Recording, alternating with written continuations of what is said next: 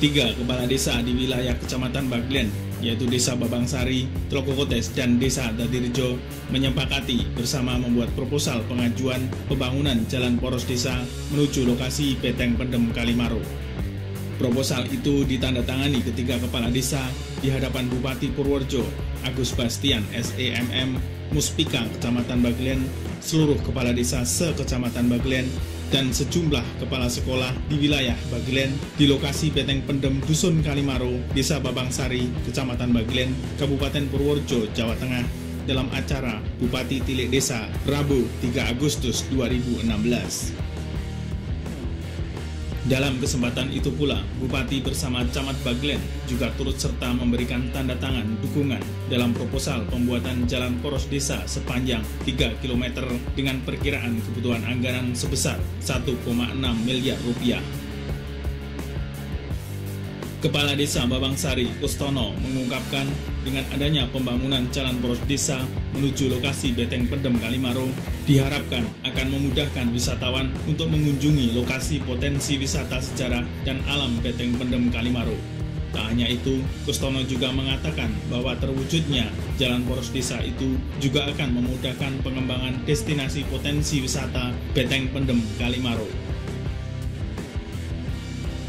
Dijelaskan pula bahwa Beteng Pendem Kalimaro yang ada dan tersebar di tiga desa yaitu Desa Mabangsari, Trokokotes, dan Desa Dadirjo hingga saat ini masih terbengkalai serta belum bisa diolah menjadi destinasi wisata yang baik meski telah terbentuk Pokja sejak enam tahun lalu. Oleh karenanya, ditandaskan oleh Kustono, kini tiga desa itu membuat proposal mengajukan fasilitas listrik, air, serta jalan di lokasi tersebut. Jika tiga hal itu sudah dipenuhi, maka sangat dimungkinkan akan bisa mendukung pengembangan potensi wisata Beteng Pendem Kalimaro. Lebih rinci disampaikan bahwa Beteng Pendem Kalimaro yang berjumlah 36 titik itu memiliki nilai wisata yang tidak kalah dengan wisata lainnya karena ada wisata sejarah sekaligus wisata alam. Selain melihat beteng peninggalan penjajah Jepang, para wisatawan yang datang juga bisa melihat laut dan lampu-lampu keindahan kota di waktu malam hari, sehingga ke depan bisa dijadikan sebagai objek wisata andalan di daerah perbatasan provinsi antara Jawa Tengah dengan Yogyakarta. Sementara sejumlah kepala sekolah SD, SMP, SMK juga ikut diundang dalam acara itu Hal tersebut bertujuan agar bisa turut mempromosikan maupun meramaikan Beteng Pendem Kalimaro dengan membawa para siswanya untuk berkunjung ke sana. Dipaparkan oleh Kustono bahwa selama ini para wisatawan masih enggan untuk berkunjung ke Benteng Pendem Kalimaro karena belum adanya fasilitas yang memadai di lokasi tersebut. Potensi apa ini Pak di Benteng Pendem yang harusnya dikembangkan?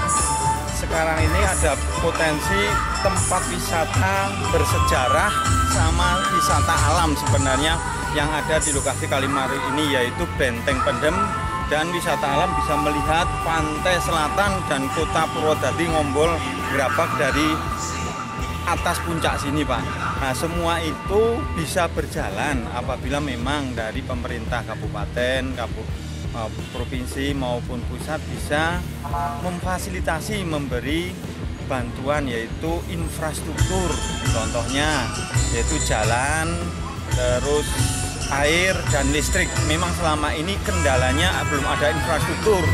Nah itu sebenarnya banyak sekolah yang mau untuk liburan atau kemah di sini tapi kan belum ada infrastrukturnya seperti air dan listriknya itu.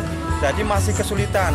Untuk ini pada saat ini kelihatannya sudah saya bikinkan proposal tiga desa yaitu Bapangsari, Dadirejo, dan Trogobutas minta bantuan untuk mem membuat jalan menuju sini infrastruktur dan air listrik untuk semoga dengan adanya acara Bupati Tilik Desa ini semuanya bisa terlaksana Pak.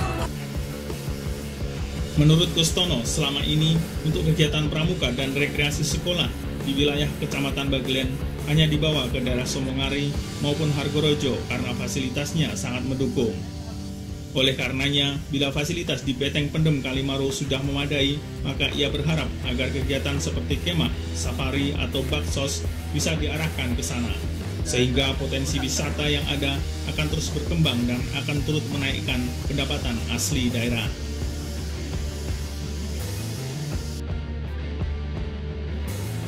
Dalam acara Bupati Telek Desa itu, Bupati juga berkesempatan memberikan bantuan secara simbolis hadiah TV, sepeda, dan lain sebagainya kepada kepala desa di wilayah Kecamatan Baglen yang telah lunas pajak. Pada kesempatan yang sama juga turut diberikan bantuan bibit pohon kelapa guna mendukung home industri pembuatan gula semut di Baglen. Demikian Widarto Baglen Channel melaporkan.